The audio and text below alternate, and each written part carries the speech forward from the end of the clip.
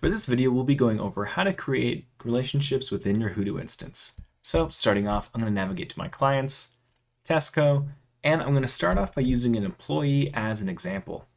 So on our right side over here, we have our related items, and all I have to do is select new. And here we can see the items that we can relate to this asset entry. I can add another asset, article, password, or website. I can even connect another client. Now your documentation might be organized differently. This might be called company or division. It's all dependent on how you organize it, but regardless of title, this function will work the same. Starting off with asset, I'm going to use the QuickBooks application I have in here. This is a application that this person uses quite a bit, so I find it relevant, and I'm also going to note that they are the admin role. So I can hit save, and now I have this other asset entry connected. I can select QuickBooks, and here we are within that asset. Then you'll also notice that we have Josh Berry back on the side. When creating a relationship within Hudu, it automatically creates a two-way connection.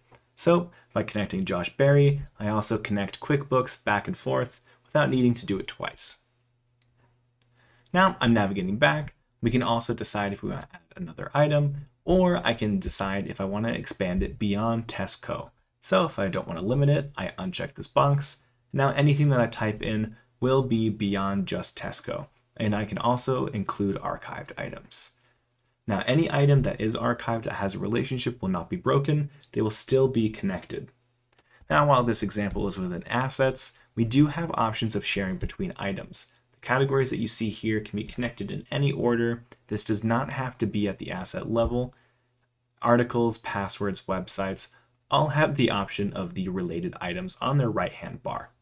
If you have any more questions, please feel free to ask below the comments or open up a ticket at support at hudu.com.